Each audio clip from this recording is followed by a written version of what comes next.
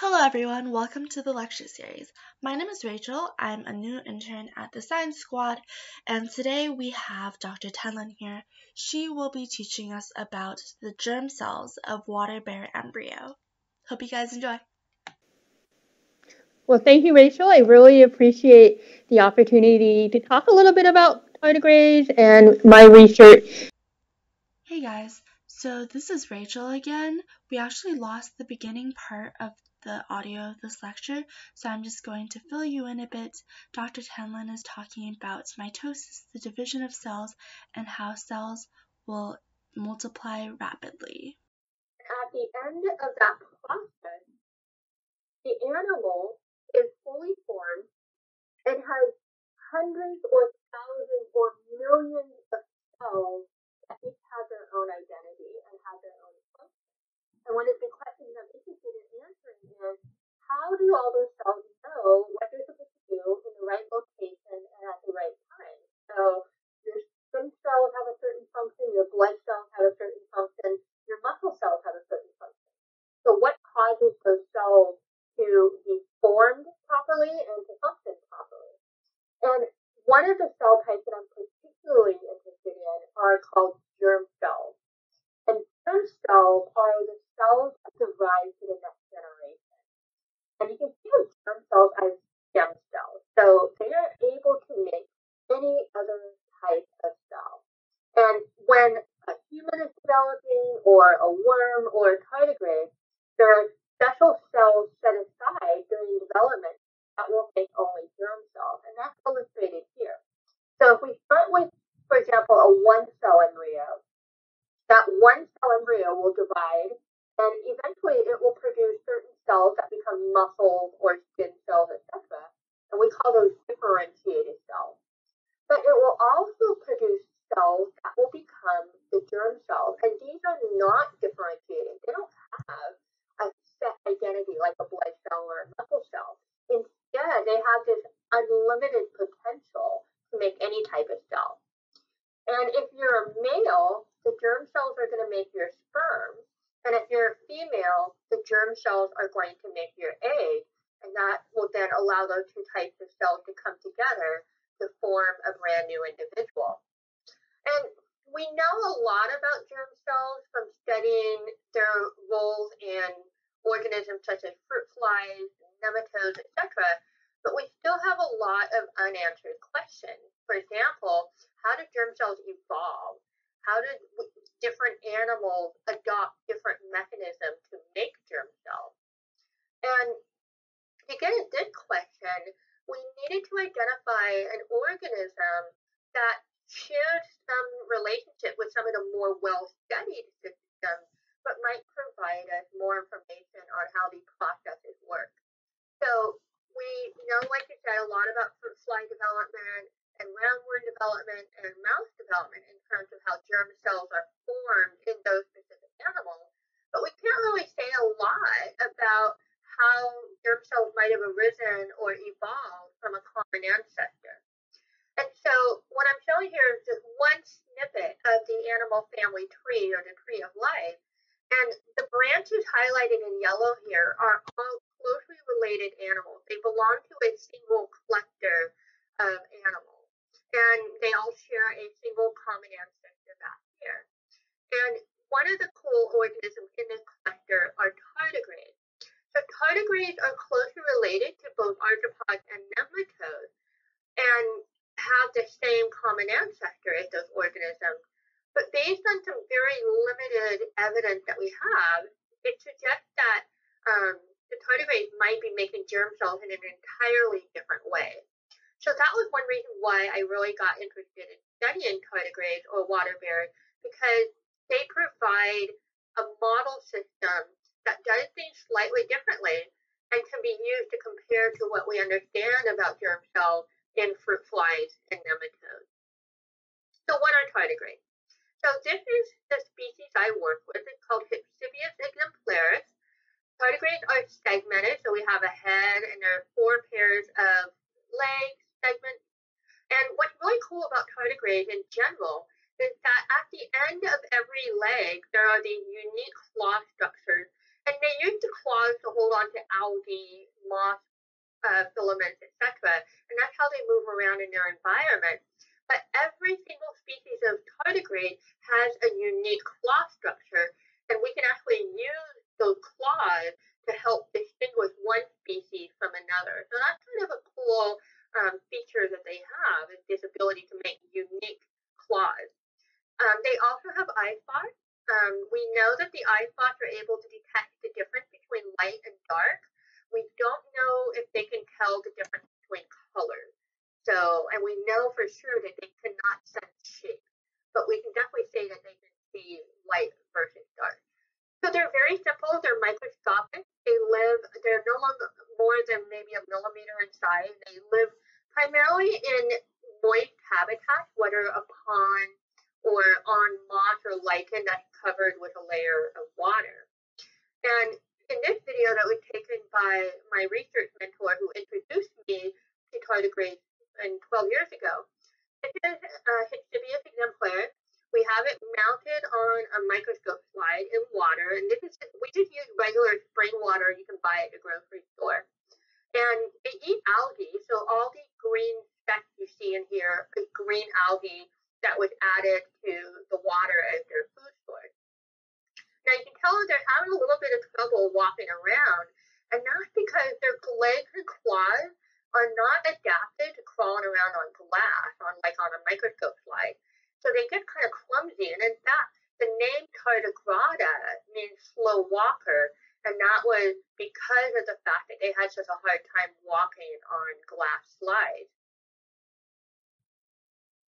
Now, tardigrades are best known for their ability to withstand really extreme environments.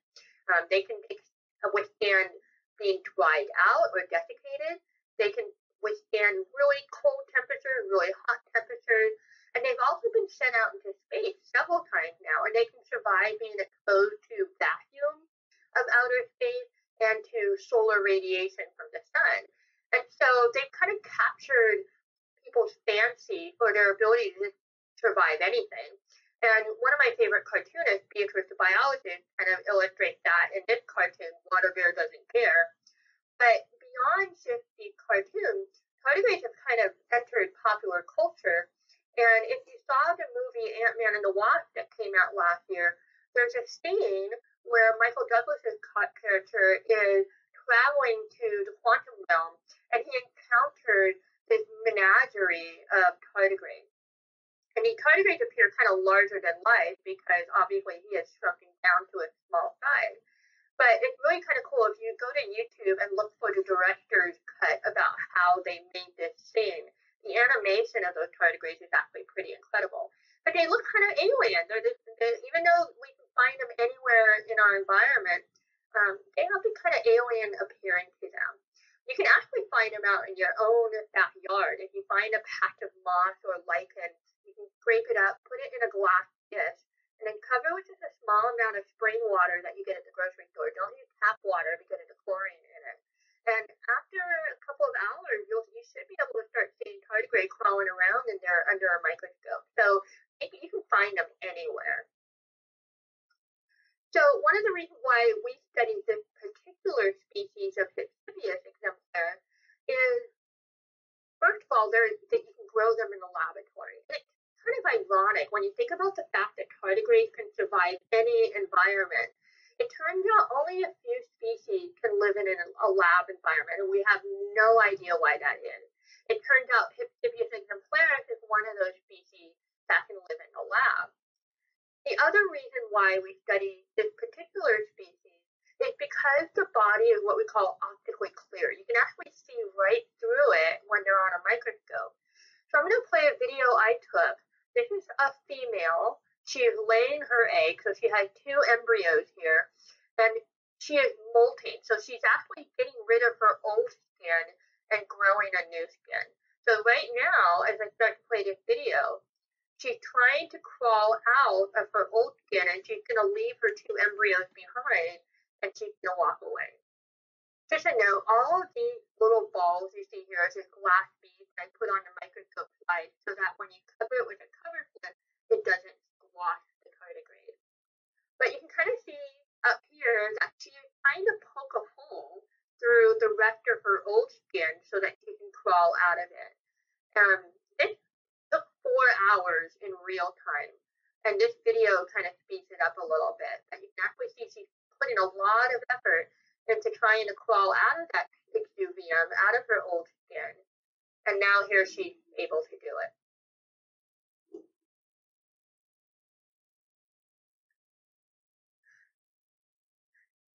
So what you'll notice, in addition to the fact that she's moving around now and she'll crawl away eventually, is that we can actually see how many cells these embryos have. So both of these embryos have two cells, and now pretty soon, if we waited long enough, they would divide into four cells, etc. So I have another video that I made of two embryos that are undergoing mitosis, they're undergoing cell division. So they were just starting division at the one cell stage. Now they're going to divide into the two cell stage. So here we can see the two cells there and in this embryo. And then those two cells will divide into four cells. And you can see that happening right here. And then pretty soon it will happen in this embryo. So if I speed this movie up a little bit, after six hours, we have two embryos that each have over 40 cells in them. And by this point, we can already start to see patterns of cell movement and cell behavior that will allow us to start identifying specific tissues, such as the formation of the intestine, the formation of muscles, etc. One of the questions that I don't know the answer to yet is where are the germ cells? So we know the germ cells will be somewhere in the middle of the embryo, and we have some ideas about what specific cells make the, will become the germ cell, but we haven't identified them yet. And that's something that my lab is really interested in um, uncovering the, uh, the answer to. And that's going to take some time before we have a definitive answer. But one of the things that we need to do in order to definitively identify the germ cell is to have a way to look for them, to have markers for germ cell identity. And we just sequenced the tardigrade genome just within the last three, four years. Um, so we know the entire DNA sequence of all the genetic material in tardigrade. However, we don't know yet what that DNA encodes. So we don't know the organization of the genes in the genome, nor do we know what those genes do in tardigrade. So as a starting point to try to um, figure out what genes are required for germ cell formation and to start to understand how those genes are organized in the tardigrade genome, we started to by compiling a list of germ-line proteins that we know in other animals are required to make germ cells. And now we're asking, do those same proteins exist in tardigrades? And if so, do they actually play any kind of role in making tardigrade germ cells? So one of the genes that I focused on is called MAGO. And MAGO is a really highly conserved gene. And by what, what I mean by that is almost every animal has a protein called MAGO. And if you compare the protein from flies, humans, worms, etc., they are all really, really, really similar to one another. So they're very highly conserved.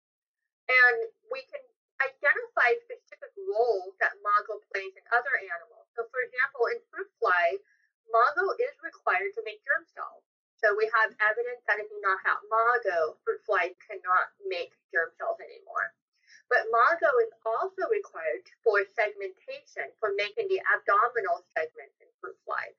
So when you get rid of MAGO, fruit flies don't make a normal abdomen. In nematodes, they don't have segments, so we wouldn't expect MAGO to be required for segmentation in nematodes. But in nematodes, it is required to elongate the embryo along a head-tail axis. So the worm starts to grow longer and longer and longer, and that process seems to require MAGO. So since flies and nematodes are closely related to tardigrade, I can start to make prediction what I would expect to observe in a tardigrade embryo if I were to somehow knock out MAGO. So the first thing I had to do was to find MAGO in the tardigrade genome. So I used the fly version of the MAGO protein, and that's shown on the top query line. So this line, this line, and this line all indicate the MAGO protein in fruit flies. And then I put it into a database that's operated by the National Center for Biotechnology Information. And this database is freely available. It's paid for by taxpayer dollars. And it has sequences from all sorts of organisms, including the tardigrade genome. So I asked it to search all of the tardigrade sequences to see if it could find a protein sequence that was similar to the fruit fly MAGO. And what I'm showing on the screen here is the result that came out of this search. The lower line here corresponds to the tardigrade version of MAGO. And what's cool is that MAGO and tardigrades and fruit fly are really, really similar to one another. Almost 80% of their amino acids are identical. And so that gives me a lot of confidence that I have identified the correct MAGO protein. And so the other thing I can learn from this is what the actual DNA sequence looks like. So I can click on this link here, and that will take me right to the tardigrade gene sequence for MAGO. So now I know what the DNA looks like, and I know what the messenger RNA looks like based on this sequence. And I can use that information to try to pull the gene out of tardigrade. And we do that using a mechanism called the polymerase chain reaction. And you can think of PCR as a big copy machine. So you have a test tube where you add your tardigrade DNA and you add reagents that allow you to identify the specific MAGO gene and make lots and lots and lots of copies. So by the time this reaction is done, you actually can have over a million copies of MAGO in this really small test tube. And then to see if the MAGO was actually made, you can use a technique called gel electrophoresis. And in gel electrophoresis, you use a material called agarose that's taken from seaweed. And it has a jello-like consistency, so it's a little bit wobbly, but it's a little bit solid as well. And the DNA will run right through the material of the agarose. And you apply an electrical current and since DNA has a negative charge to it, we apply it so that it's going to run towards a positive pole. And by that process of separation via electrophoresis or using electricity, you can actually separate the product based on their size. And so in this gel, I have different lanes where I loaded different samples. In the first the last lane, I loaded a ladder. And a ladder is just is simply a collection of bands of DNA where I know the exact size of that band. And then in all of these other lanes, I loaded um, individual PCR reactions from taken from different animals. So this is from one animal's genome, this is another animal's genome, etc. And the gene was predicted to be about 500 nucleotides, 500 base pairs of DNA. And this band in the ladder is also 500 base pairs. So it looks like in all of these lanes, I have a product that appears to be MAGO. In some of these lanes, the band is super faint, but there is a band there. And in these last two lanes, the um, PCR didn't work for some reason. But this is a cool result because not only do I know what the MAGO sequence is, but now I know that I can pull it out of the animal, that it is actually made into a product such as messenger RNA. So the next thing I wanted to do to ask what would happen if I knock it out? How does MAGO affect tardigrade development? So to do this, I used a technique that was developed by other researchers way back in the 1990s. And this technique is called RNA interference. And what we do is you take double-stranded RNA. So this is this RNA is specific to the gene you want to knock out. So in my case, this is double-stranded RNA that recognizes MAGO. So it has one strand that's identical to MAGO, and then it has the other strand that's like the opposite, the complementary strand to MAGO. And when you inject it into the cell, it gets chopped up into smaller pieces, and then it, the small pieces get separated so that one strand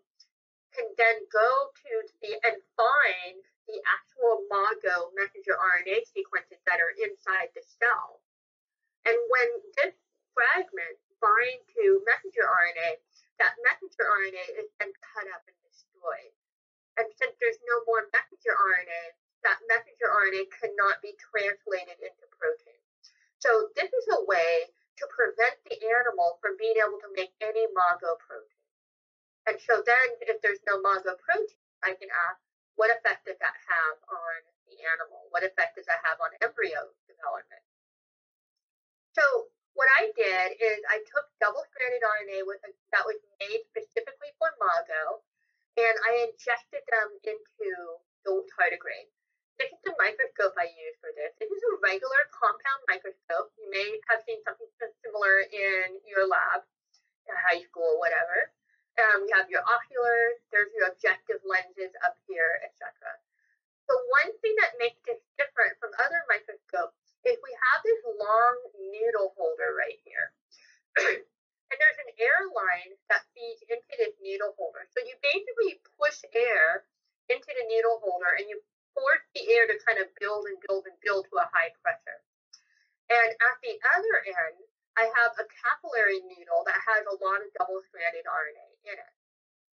And you can actually tap on the foot pedal, and that releases all of the air that's building up, and it forces forces the double-stranded RNA into the tardigrade. And so that's what I have here. I just took a picture of one of my tardigrades. The needle is sticking into the body, and when you push on the foot pedal, all of that double-stranded RNA is inserted into the animal's body. And what's really remarkable is they tolerate this really well.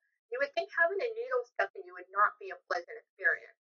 But for tardigrades, they kind of perk up after about a half hour or so, and they'll crawl around and they'll walk around in their cold stitches. They'll start laying eggs after a couple of days. and they seem to you know survive having a needle stuck in them without much issue. So it's kind of remarkable that they're very flexible in terms of these types of experimental manipulation, but we can learn a lot of information doing this type of a technique. So what I then did is I collected all of the embryos from the animals that had been injected with this mixture of double-stranded RNA specific to MAGO, and I asked, well, what effect did that have? So I'm going to show you first what would happen in a normal embryo. So this is the way normal embryos develop. Now, tardigrade embryos take a long time to develop compared to other simple organisms like worms or flies. So it takes four days from fertilization to hatching, which is a long time to wait when you're trying to do experiments. But after about a day and a half, you can actually start to see elongation. So the tardigrade embryo is growing along the head to tail axis. So this A represents anterior. So this is the head end of the animal, and it wraps around to the tail end, which is marked by P, which stands for posterior. And you can actually see the outline of the eggshell. So the eggshell is kind of this solid structure, and the tardigrade is just wrapping itself around inside the eggshell. And then by four days, the tardigrade is completely wrapped around on itself. And you can actually see here's the mouth.